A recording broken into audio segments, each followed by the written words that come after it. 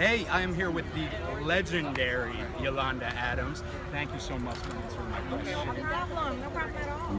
Did you ever think that you'd be able to cross over into where you're hitting, you know, some kid in Wilmington, Delaware? I mean, No, you know what I thought? I thought that um, I would be able to do something that I absolutely love to do tell people how amazing they are, how amazing God is, and the power that He's put on the inside of you to accomplish anything. Mm-hmm. So I just thought that I'd be doing that wherever.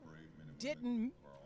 I couldn't have imagined a greater life than God gave me. yeah, yeah, Yeah. yeah. It's been absolutely incredible to receive your gift that you share with everybody in the world. So I wanted to let you know that that still to this day, it was such a profound moment for me. And that song is just, it's, it's, it. I, I can't even describe it. Oh, well, thank you so much. I really appreciate that. That you know, it lets you know that you know what you do means something to people. Absolutely, it's still with me to this day. So thank you. Thank you, thank so, you much. so, much. Oh my gosh.